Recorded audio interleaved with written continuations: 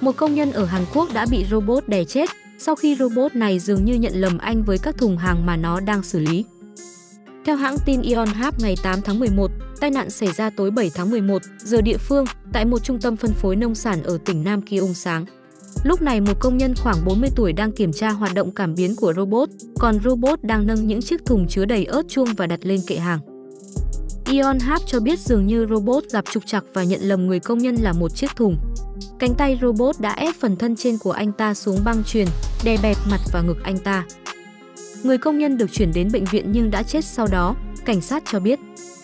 Cảnh sát đang mở một cuộc điều tra đối với những người quản lý an toàn của trung tâm vì có thể họ đã sơ suất trong lúc làm việc. Trong một tuyên bố sau vụ việc, một quan chức của khu Liên hợp Nông nghiệp xuất khẩu đồng Gosseong, nơi sở hữu nhà máy để xảy ra tai nạn, kêu gọi thiết lập một hệ thống robot chính xác và an toàn.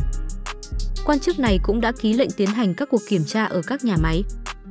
Vào tháng 3 năm 2023, một người đàn ông Hàn Quốc bị thương nặng sau khi bị một robot khóa chặt lúc đang làm việc tại một nhà máy sản xuất phụ tùng ô tô.